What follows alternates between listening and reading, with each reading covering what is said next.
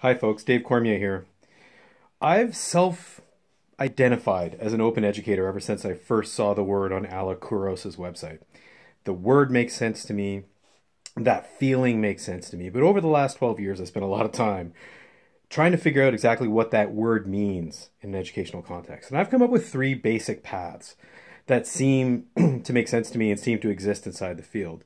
First one I want to talk about is open, as in open education. So, when open education started in the United Kingdom, it was a question of widening participation. The quality of openness that was involved in that version of open was opening up higher education, further education, so that more people could access it. People coming back from the war, people who traditionally didn't have access to further education could get in. They could get started. They could themselves participate in the wider discourse inside of their culture. So it's opening it up so that more people can get in.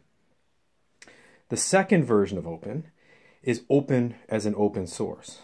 This is a legal distinction. It's about the ways in which we put licenses on top of actual objects that are used in education so that other people can use them. So we have a publishing industry that has copyright licenses, which means there are restricted ways we can reuse specific pieces of printed or video resources.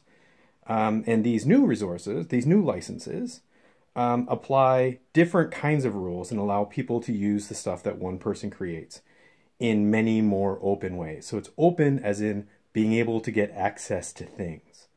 The third version of open is what I think of as Dewey's open.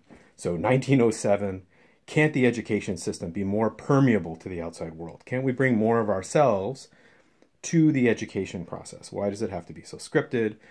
Why can't we have more flexibility inside the process?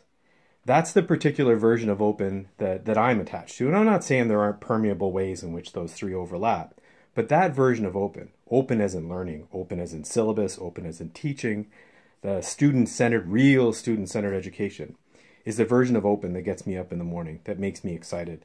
Uh, I see the value of the other two for sure, for sure. I mean, it's great to have access to resources uh, it's great and, and really important for us to open up the education system for as many different kinds of people as possible. But that open learning piece, that place where openness becomes uh, an acceptance of the total student, allows those students to create their own literacies for learning, uh, where they're not driving towards a specific resource that's been given to them or a pathway that's been created by somebody else, but they learn fundamentally that learning is something that comes from you. It's a pathway you have to create for yourself, uh, and it's a journey that you continue to get better and better at as you go along.